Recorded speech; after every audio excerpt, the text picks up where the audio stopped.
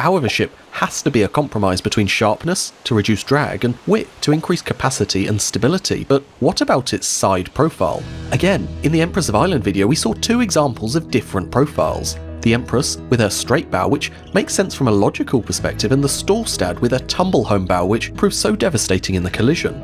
A tumble home bow is one that slopes inward the higher up you get. It creates this protrusion underwater and results in a shape that is much easier to cut through heavy seas. As waves ride up over the bow, there's minimal increased displacement, meaning that it's less likely for a ship to pitch up and down. As these ships move along, they just look solid and they appear to cut through the waves rather than ride them. Unfortunately, however, as we saw with the Empress of Ireland, when one of these tumblehome bows is involved in a collision, they inflict an immense amount of damage under the waterline of the other vessel, drastically reducing its chances of survival. So much so, in fact, that this very incident was the catalyst for the next evolution in the design of ships' bows, the flare.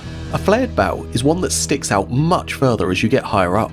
The idea with these is that they're much better at riding waves because as the wave approaches, the water encounters more hull, increasing the buoyancy and lifting the bow up with the wave.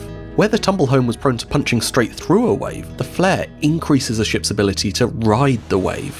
And, unlike in the Empress of Ireland incident, a flared bow is going to do a greater amount of damage above the waterline in the event of a collision, but the vessel that gets hit is at least more likely to maintain sufficient watertight integrity to remain afloat.